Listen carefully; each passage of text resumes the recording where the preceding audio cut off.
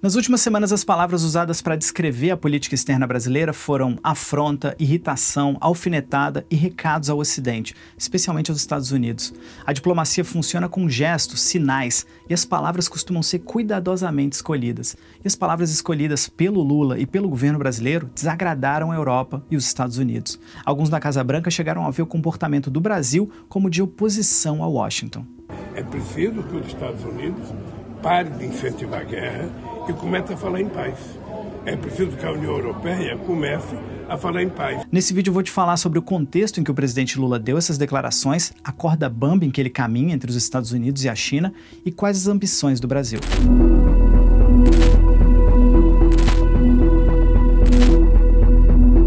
Brasil visitou a China num momento delicado em que americanos e chineses trocam acusações até mesmo de espionagem entre eles. Isso é a ponta do iceberg de uma nova ordem mundial que está sendo formada. A posição hegemônica dos Estados Unidos está dando lugar a um mundo multipolar. Não dá para esquecer que China e Estados Unidos são os dois maiores parceiros comerciais do Brasil e os dois disputam área de influência e buscam parceiros e aliados pelo mundo afora.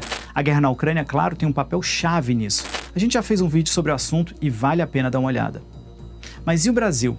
O Itamaraty tem um histórico de neutralidade de pragmatismo nas relações exteriores, e nesse contexto da guerra, o Brasil tem tentado se equilibrar entre os dois lados e permanecer neutro, condenando a invasão russa, mas sem se envolver em sanções ou envio de armas, e tem até se oferecido como mediador de paz. A gente também já fez um vídeo bem detalhado sobre isso. E nessa linha, o presidente Lula, já no início do mandato, se encontrou com líderes dos Estados Unidos, da Alemanha, da China e recebeu o chanceler da Rússia. A princípio, um sinal de prestígio, de circular bem entre as potências globais. O que causou problema foi o tom das declarações feitas. E vale lembrar que opiniões com relação à guerra na Ucrânia dizem muito sobre esse posicionamento dos países nesse xadrez global. O porta-voz do Conselho de Segurança Nacional americano, John Kirby, acusou o Brasil de repetir a propaganda russa sobre a guerra sem olhar para os fatos. O Lula, em mais de uma ocasião, já disse que vê a Rússia e a Ucrânia como responsáveis pela guerra e recentemente repetiu isso mais uma vez. Porque a decisão da guerra foi tomada por dois países. E eu acho que nós temos que sentar numa mesa e dizer: chega, vamos conversar, porque a guerra nunca trouxe, nunca trará benefício para a humanidade. Mas a posição de Lula tem sido marcada por idas e vindas nesse assunto. Teve cobranças dos Estados Unidos, da Europa e até o porta-voz da Ucrânia convidou Lula para entender, nas palavras dele, as causas reais da guerra. Lula então usou um tom mais crítico, mas sem citar a Rússia. Ao mesmo tempo em que meu governo condena a violação da integridade territorial da Ucrânia, defendemos uma solução política negociada para o conflito.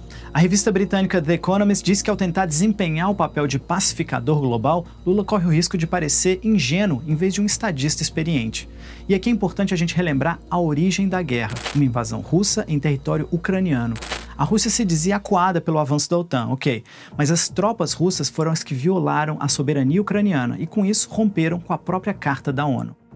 Vocês acompanharam a visita do chanceler da Rússia, Sergei Lavrov, a Brasília?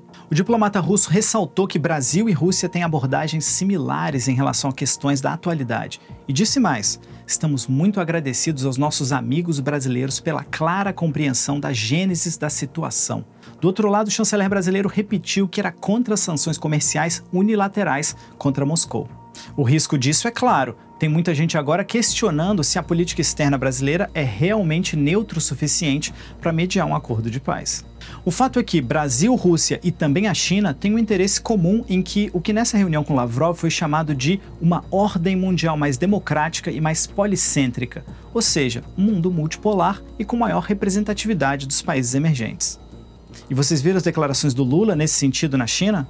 O presidente disse que o Brasil tem interesse de, junto com a China, construir uma nova geopolítica para mudar a governança mundial, dando mais representatividade às Nações Unidas. O plano brasileiro é de expandir o Conselho de Segurança da ONU para outros países, inclusive o Brasil.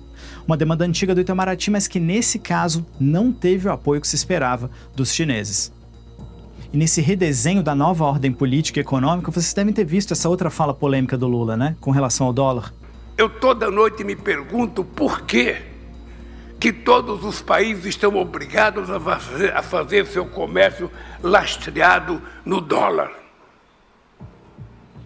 Por que, que nós não podemos fazer o nosso comércio lastreado na nossa moeda? Já existem várias experiências de desdolarização no mundo para poder fazer comércio em outras moedas. O assunto não é novo, mas, de novo, o problema foi o tom usado para cutucar Washington.